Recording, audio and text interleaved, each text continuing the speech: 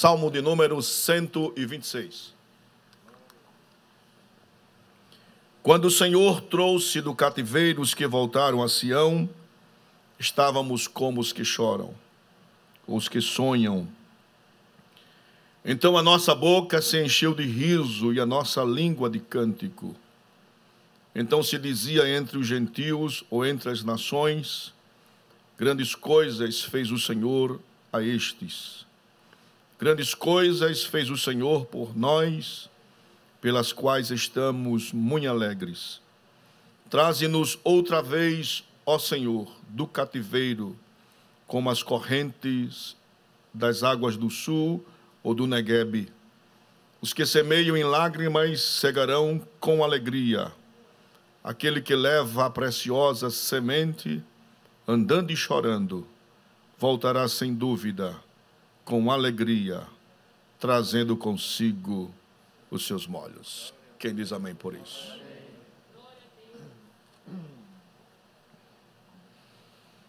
Meus queridos irmãos, o Salmo de número 126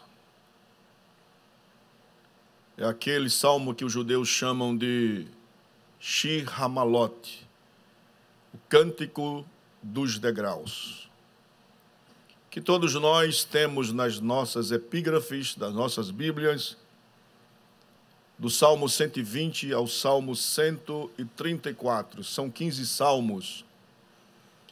Algumas versões trazem dos degraus de romagem, dos peregrinos, mas que nós queremos focar nesta noite é o teor do salmo.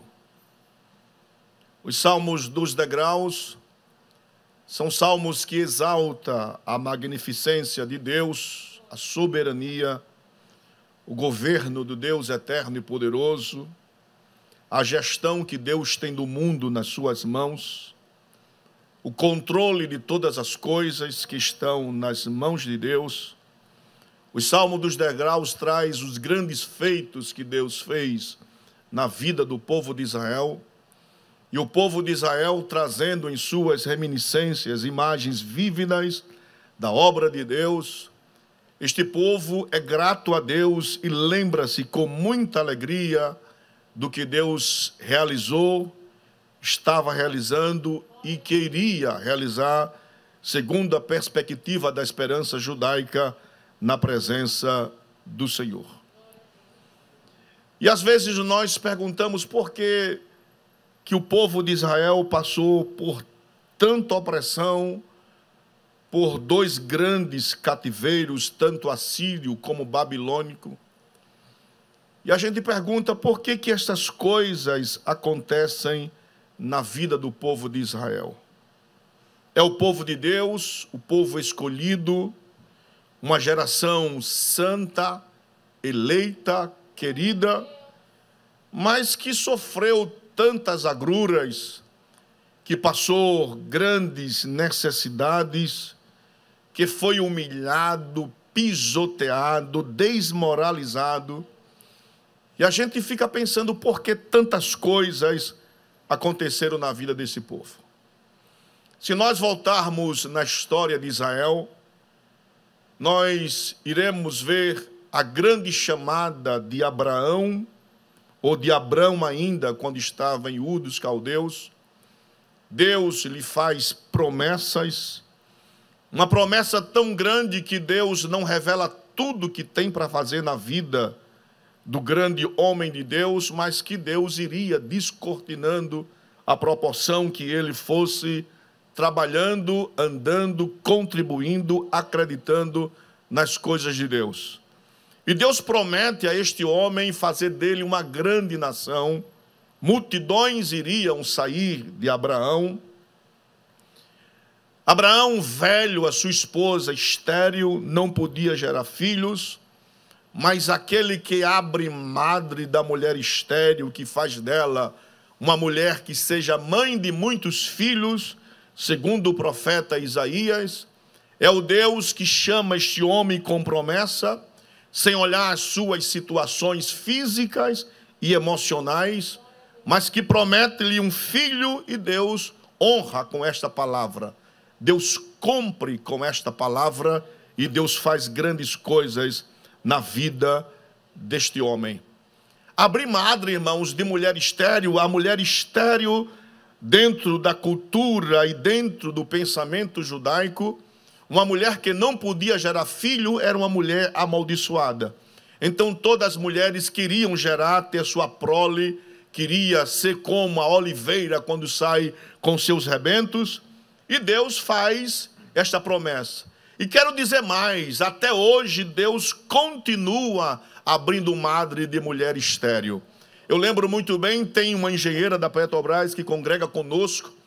Ela sempre fica na galeria e ela casou-se muito nova, não podia gerar filho, fez tratamento, tomou vários medicamentos, foi acompanhada de perto por profissionais da área para que pudesse gerar filho, mas tudo aquilo foi uma fatalidade, nada acontecia, nada vinha, e a esperança de ter um filho nunca saiu da sua cabeça. E num culto nesta igreja, justamente no domingo, ela está na galeria, uma palavra que sai do púlpito para a igreja sobre a esterilidade que Deus abre, abre madre. Ela levantou as mãos, agarrou a promessa e disse: Essa promessa é para mim. E ela voltou depois, se apresentou aqui grávida, já com quatro meses, e ela gerou uma filha, e hoje é mãe de dois, duas, duas crianças, e o nome do Senhor foi glorificado. Deus é aquele que com controla todas as coisas, que até hoje Deus continua batizando com o Espírito Santo, salvando, curando enfermidade que os médicos taxam como enfermidade que não tem cura, abrindo madre de mulher estéreo e um milagre acontecendo na vida do seu povo. Glórias a Jesus. Então, este é o povo da promessa. Um povo que tem uma história de Deus na vida, um povo que viu grandes coisas povo que foi cativo no Egito durante 400 anos, mas que o clamor do povo chegou até a Deus. Este povo vê coisas que talvez a pessoa mais antagônica que exista hoje talvez não acredite que foram grandes realidades. A teologia neoliberal diz que aquilo ali foi um conto folclórico, algo que inexistente, para que o escritor sagrado pudesse dar ênfase ao que está escrito.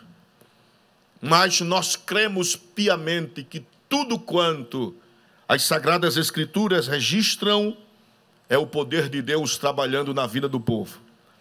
Este povo vê grandes milagres, grandes sinais.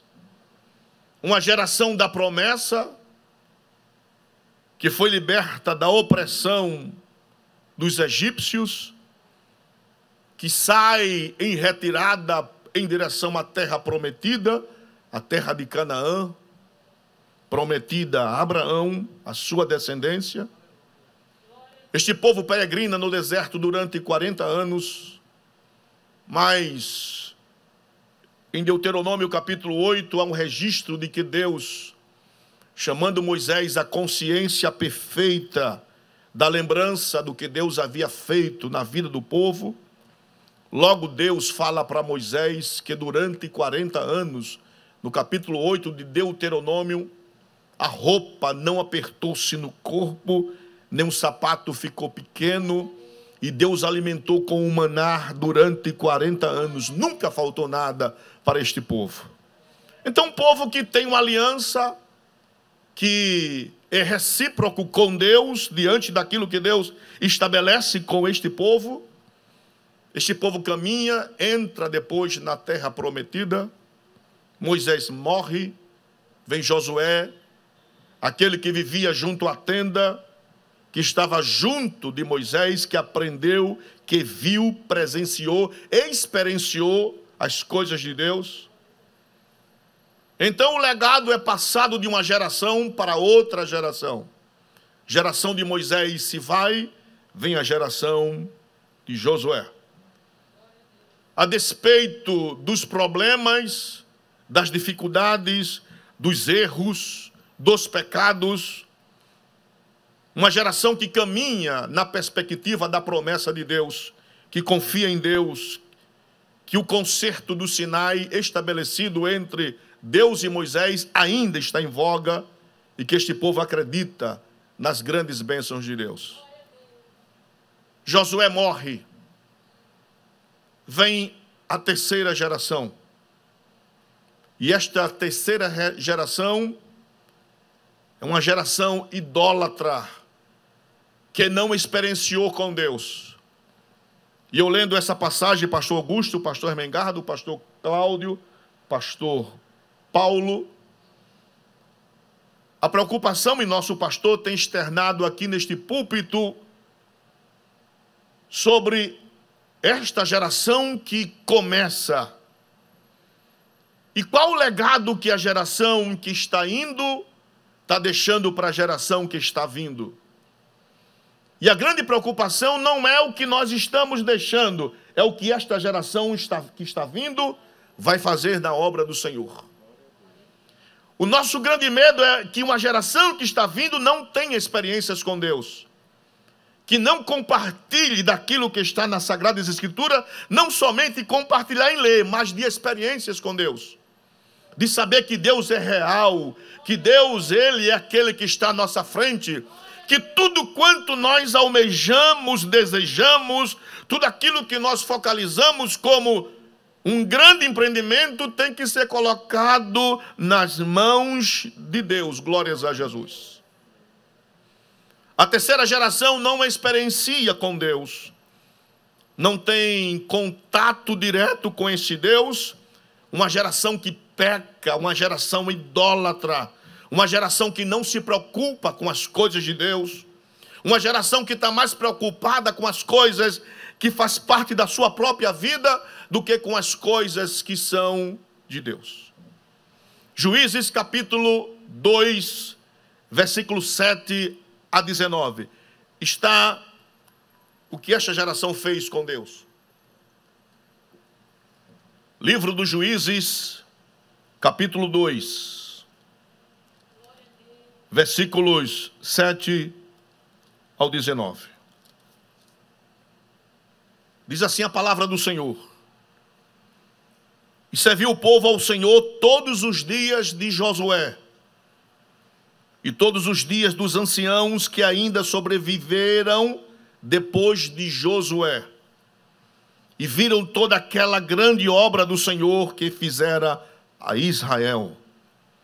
Faleceu, porém, Josué, filho de Num, servo do Senhor, com a idade de cento e dez anos.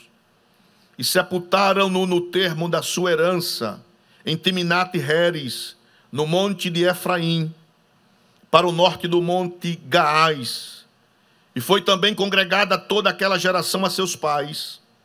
E outra geração, a terceira geração, após ela se levantou, que não conhecia ao Senhor, nem tampouco a obra que ele fizera a Israel. Então fizeram os filhos de Israel, a geração da promessa, a geração da aliança, o que era mal aos olhos do Senhor, e serviram aos Baalins, e deixaram o Senhor Deus de seus pais, deixaram as tradições, deixaram os concertos, deixaram os princípios que os tirara da terra do Egito, e foram-se após outros deuses, dentre os deuses dos povos, que havia ao redor deles, e adoraram a eles, e provocaram a ira do Senhor, porquanto deixaram ao Senhor, que é poderoso, que é soberano, que é suficiente para dar tudo quanto o povo precisava, e serviram a Baal e a Astorote. Por isso a ira do Senhor se acendeu contra Israel e os entregou na mão dos espoliadores que os despojaram, e os entregou nas mãos dos seus inimigos ao redor, e não puderam mais resistir diante dos seus inimigos. Por onde quer que saíam, a mão do Senhor era contra eles, para mal, como o Senhor tinha falado e como o Senhor lhes tinha jurado, e estavam em grande aflição E levantou o Senhor juízes, que os livraram da mão dos que os despojaram. Porém, tampouco ouviram aos juízes, antes prostituíram-se após outros deuses e adoraram a eles. Depressa se desviaram do caminho por onde andaram seus pais, obedecendo os mandamentos do Senhor. Mas eles assim não fizeram. Não dá nem para dar amém por isso, irmãos.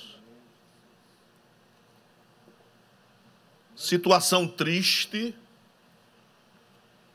deplorável. Israel, que é o povo de Deus, ficou disfuncional, egoísta, prevaricaram contra Deus, viraram as costas contra o Todo-Poderoso, desprezaram as tradições dos anciãos, renegaram a lei de Deus, os princípios de Deus,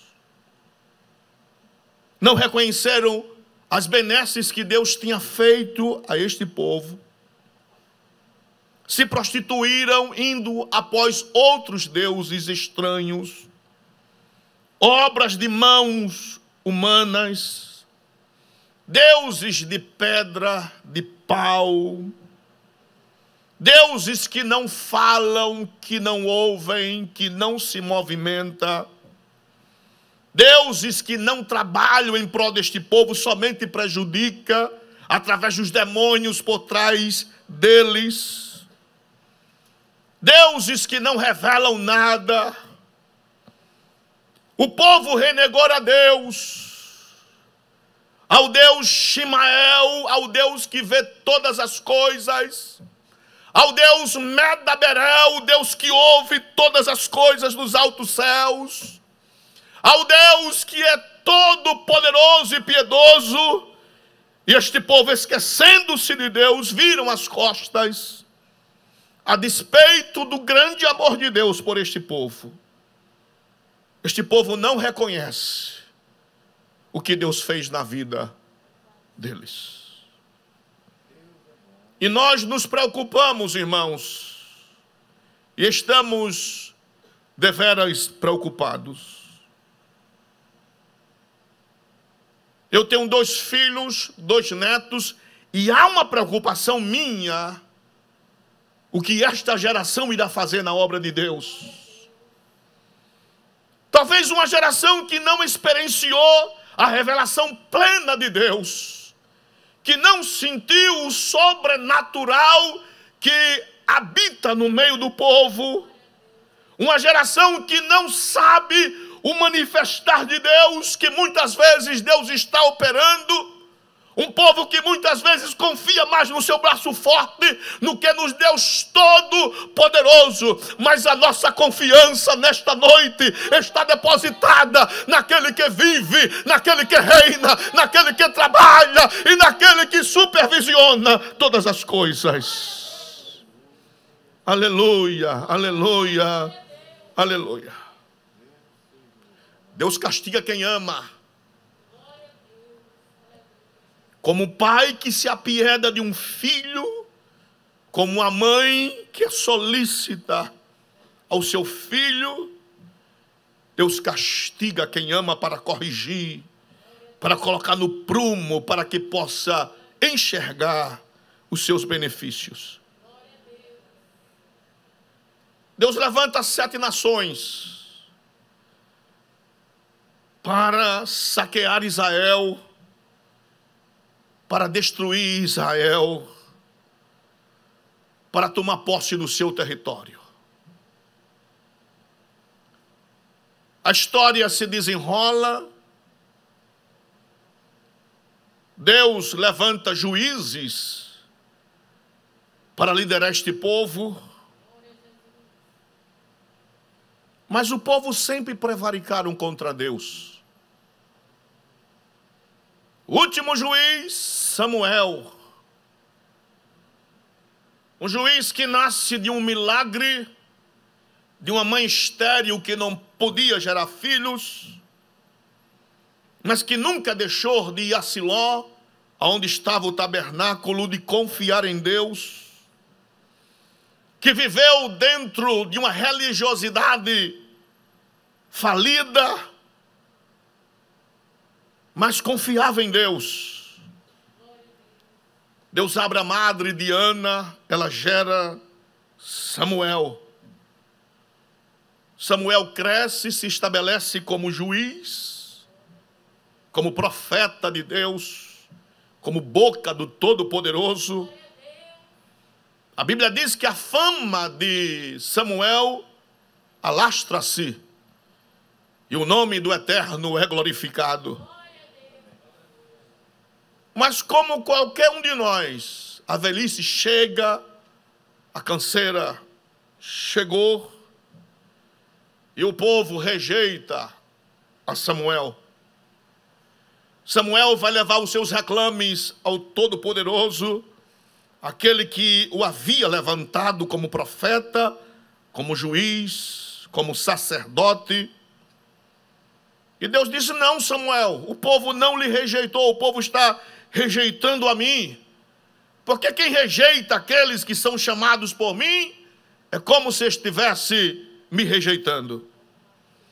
E o povo vendo as nações circunvizinhas com rei, o povo tem a necessidade de ter um rei também. E Deus logo adverte o povo: olha, o rei que dominar sobre vocês vai cobrar impostos, vai pegar os vossos filhos, vai tê-los como escravos, como servos, mas o povo quer.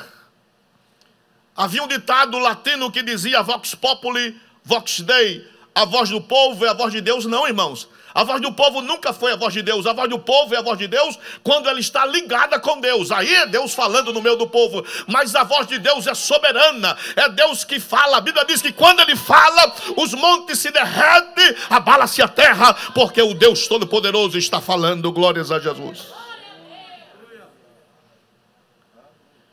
Não tem problema. Deus vai dar um rei a Israel. Saul, cuidador de jumentas.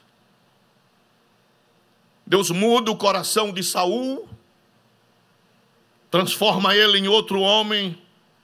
Ele até profetiza.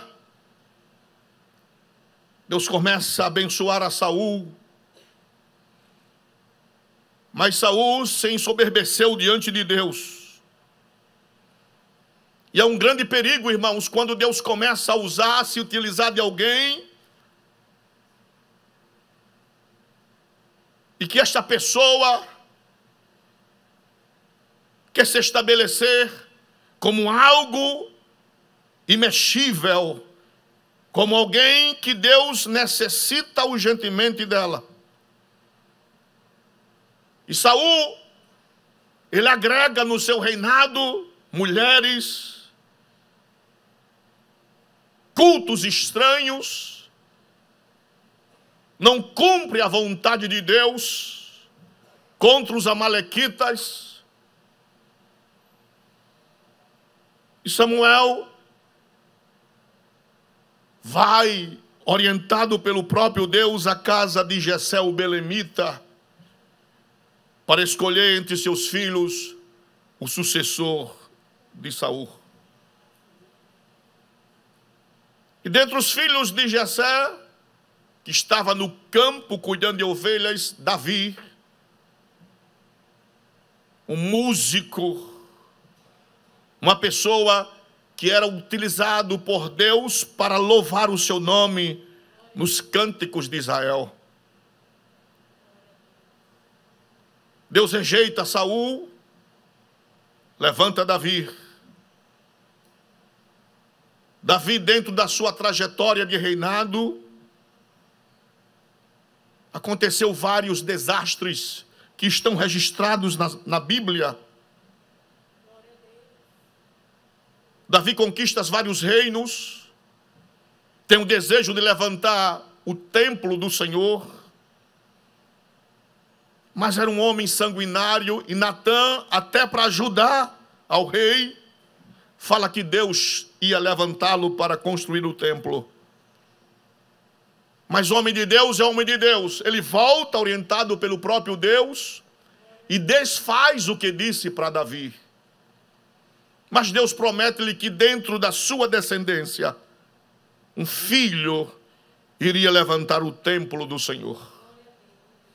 Davi está velho, não pode fazer muitas coisas.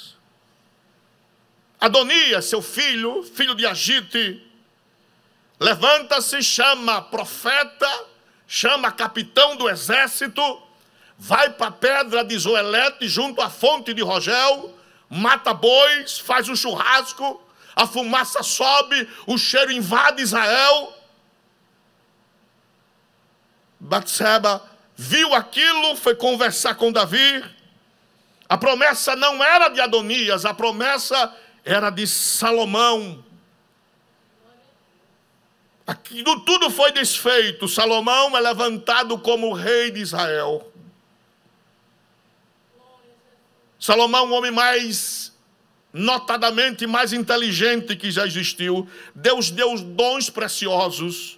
Um homem que inventou, criou, estudou, nomeou, mas prevaricou contra Deus.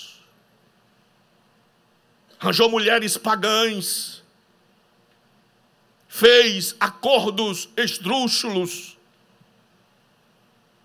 engordou-se diante de Deus e deu coice em Deus.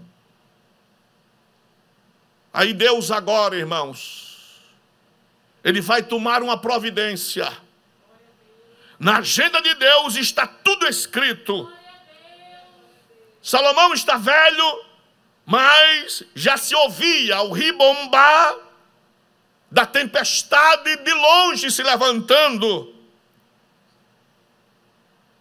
Jeroboão está no Egito. Quando Salomão morre, ele volta. Aí Roboão, seu filho, de vez de tomar conselho com os mais velhos, vai tomar conselho com os mais novos. E os mais velhos disseram para ele: trate o povo bem, que este povo vai trabalhar juntamente contigo. Mas ele ouve os mais novos, e os mais novos dizem: aperte mais, se teu pai pediu imposto, aperte mais ainda. E ele se engrandece com aquilo, faz besteira. E em 930, o reino é dividido: o reino do norte, ou setentrional, e o reino do sul. Reino do norte, dez tribos, reino do sul, duas tribos. Os reis do reino do norte foram perversos, idólatras. Fizeram bezerros de ouro para adorar na lembrança do Egito. E aí vem um alerta para a nossa vida, irmãos. Se nós não tivermos ligado com Deus, se nós não tivermos em comunhão com Deus, a lembrança do Egito vem, mas nesta noite, em nome de Jesus Cristo, toda lembrança do Egito seja repreendida. Nós agora somos novas criaturas e o nosso alvo é Jesus Cristo, o nosso eterno e poderoso Salvador. Glórias a Jesus.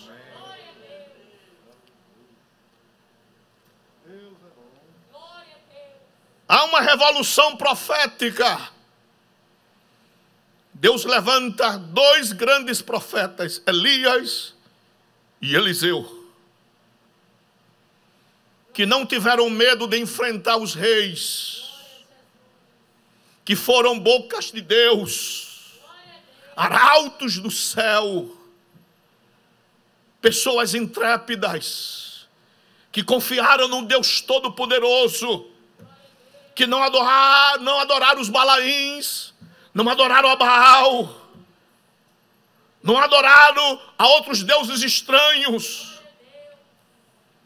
O altar foi quebrado, mas Elias no monte levantou o altar de Deus, orou, o fogo desceu, e Israel disse: somente o Senhor é Deus, somente o Senhor é Deus.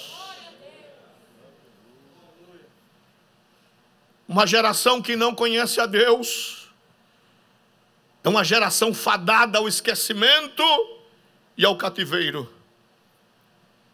Deus mandou dois grandes cativeiros,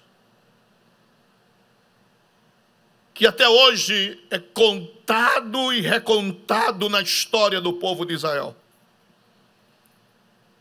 O escritor judeu Abeban, no seu livro A História do Povo de Israel, ele diz que tanto o cativeiro assírio do Reino do Norte em 722, como o cativeiro babilônico no Reino do Sul em 586 a.C., trouxeram coisas terríveis para o povo de Israel. Mas Deus que é Deus, Deus que ama este povo, Deus que tem negócio com este povo, Deus que tem promessas com este povo. Deus que tem aliança com este povo. Deus que tem negócio com este povo. Nunca esqueceu deste povo. Assim acontece com muitas famílias de pessoas que estão na casa de Deus, que os filhos saem da presença de Deus, que o esposo ou a esposa saem da presença de Deus, mas Deus que é poderoso, Deus resgata, Deus traz, Deus abraça, Deus ilumina, Deus mostra e começa a congregar de novo para a sua presença. Por quê? Porque este é o povo da aliança do Senhor. Glórias a Jesus. Aleluia.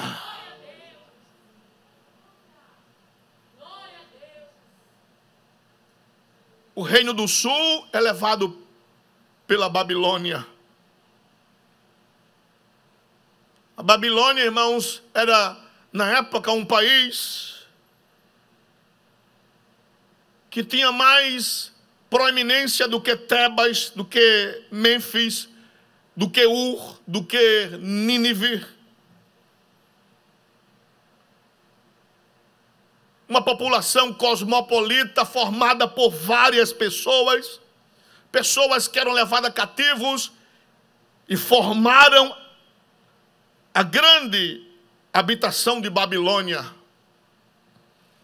que adorava outros deuses, que faziam sacrifícios a deuses estranhos, que fizeram concertos com deuses estranhos. E quando o povo vai para a Babilônia,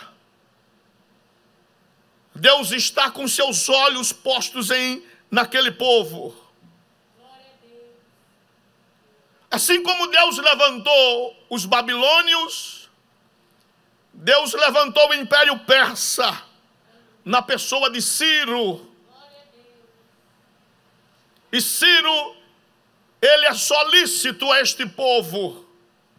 Se os irmãos lembram lá no Salmo 137, um salmo de que o salmista ele vai exteriorizar a Deus.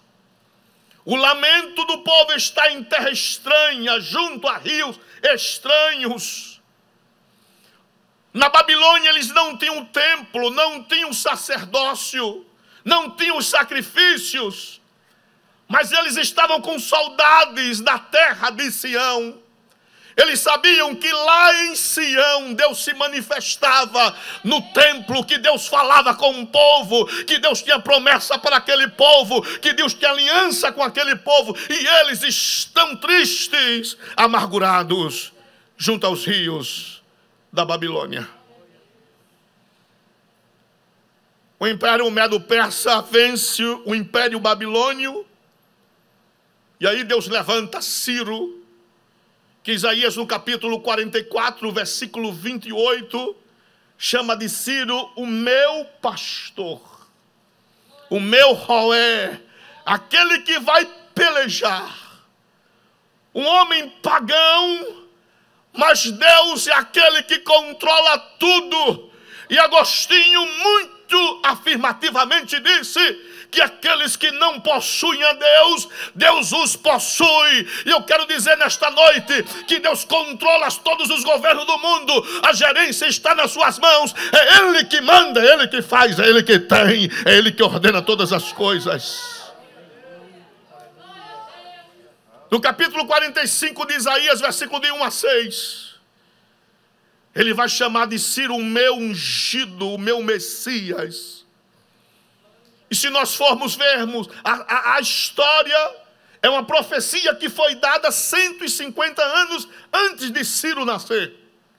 Mas Deus que controla o tempo, controla as estações, e é Daniel que diz que ele muda rei, ele tira rei, ele muda as horas, as estações, é o Deus que pode ver o futuro e prontamente dizer: Ciro, levante-se como meu ungido e deixe que meu povo volte para Sião para adorar o meu nome. Glórias a Jesus.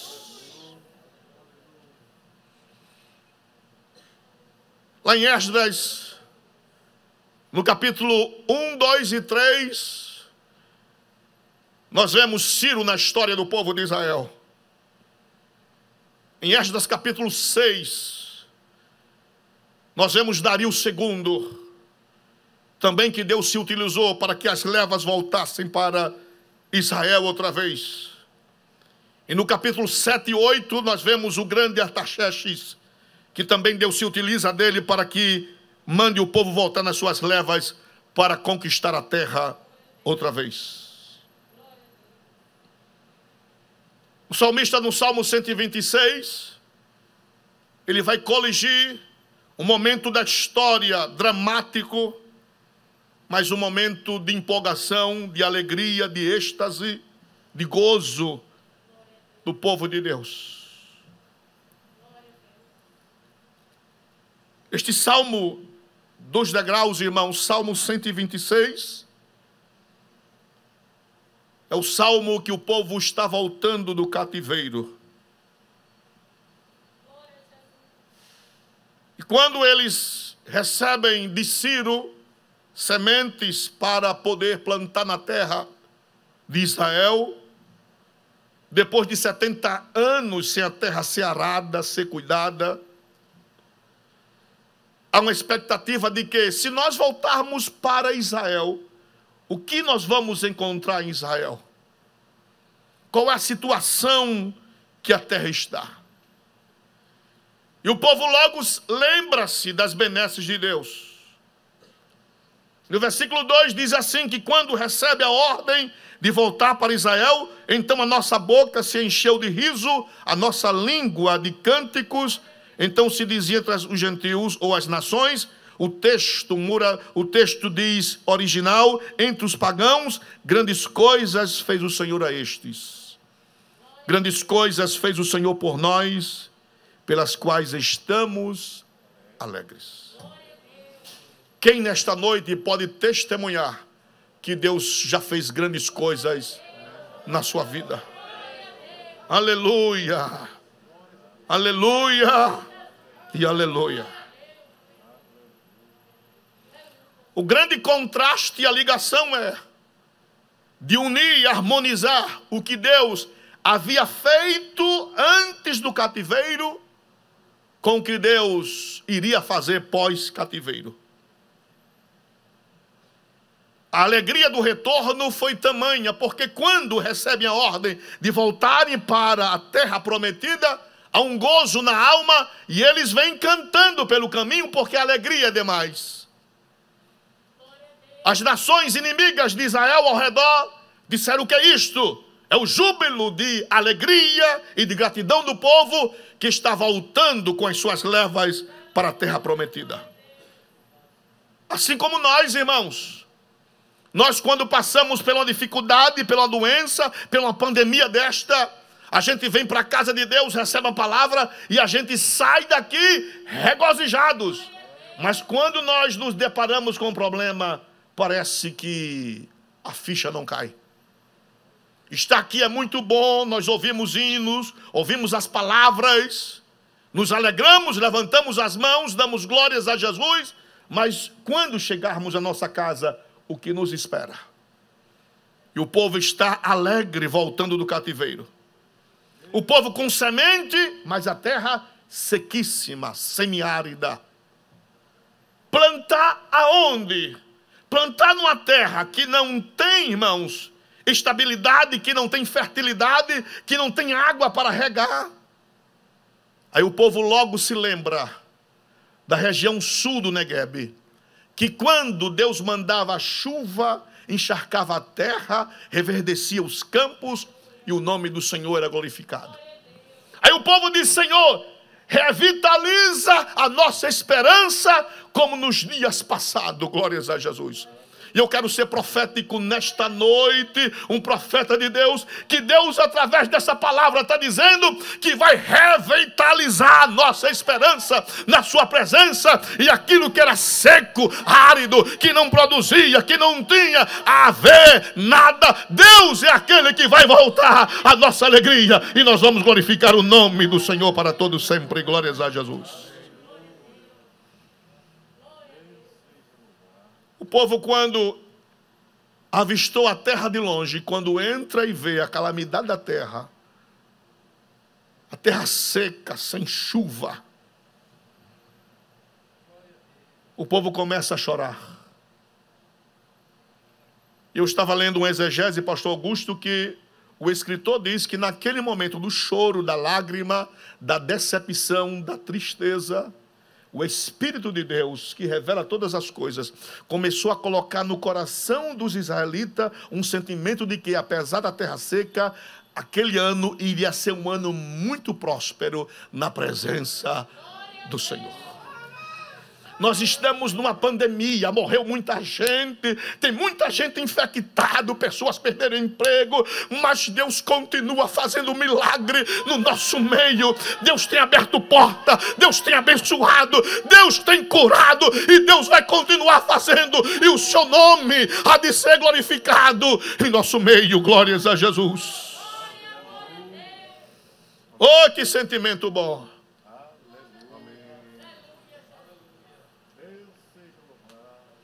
E qual é o sentimento que Deus coloca no coração daquele povo? E o salmista responde no versículo 5: Os que semeiam em lágrimas cegarão com alegria. Aleluia. Deixa eu dizer para você nesta noite que me escuta através da internet que me vê a você que adentrou aqui nesta noite, no nome de Jesus. A Bíblia diz que o choro pode durar uma noite, mas a alegria virá pela manhã. É uma promessa de Deus para nossas vidas Aquilo que hoje é tristeza, é lágrima, é sofrimento, o nosso Deus reverte em alegria, em júbilo, em satisfação, em gozo na Sua presença, para que o Seu nome seja glorificado. Glórias a Jesus. Aquele que leva a preciosa semente, andando e chorando, voltará sem dúvida com alegria, trazendo consigo os seus molhos. Levanta suas mãos comigo nesta noite. Se você pode crer na palavra do Senhor, prepare-se para voltar a este lugar com a resposta que Deus está te dando nesta noite. A você que me ouve nesta noite, o Senhor te visita o Senhor que cura, o Senhor que restabelece, o Senhor que abre, o Senhor que sara, o Senhor que levanta, o Senhor que visita e está falando contigo, voltará com alegria, trazendo a resposta necessária de Deus para a tua vida. Glória, glória, glória e aleluia. Oh, glórias a Jesus. Oh, glória a Jesus! Glória a Jesus! Glória a Jesus! Glória a Jesus! Glória a Jesus! Glória a Jesus! Aleluia, aleluia! não é uma certeza fugaz, mas é uma certeza sem dúvida nenhuma. É aquilo que Deus estabelece, é aquele que Deus faz, é aquilo que Deus pensa.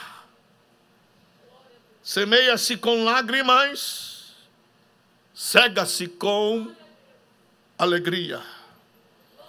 E a alegria é a melhor coisa que Deus coloca no nosso coração. Porque a Bíblia diz que um coração alegre aformoseia o rosto. Se prepare para formosear o seu rosto com alegria na presença do Todo-Poderoso. Fica de pé glorificando o nome do Senhor.